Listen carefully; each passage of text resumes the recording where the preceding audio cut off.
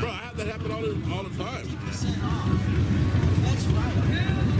Yeah, if it's just us right here, we might be lucky.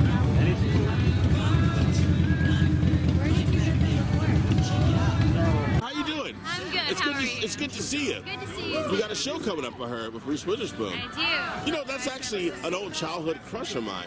Really? Yeah, yeah, Good it's intentions. It's real old, but you should Yeah, go check it out if you haven't good seen it. Um, Okay, so now what's the name of it? It's called Little Fires Everywhere. Little Fires Everywhere. Are you the person that's been setting California on fire? I hope I'm not. Oh, okay. I mean, Little Fires Everywhere. Little I mean, Fires Everywhere, you just do. how do I find you on social media? Uh, Jade Pettyjohn underscore official. All right, it's good to All right, see you. good to see you. All right.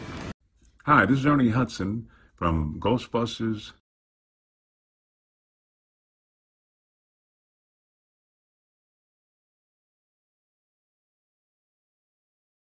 Just visit autographstoyou.com. Let me know what you like, and I'd be honored to get it right to you. Okay, take care, have fun, and uh, keep on.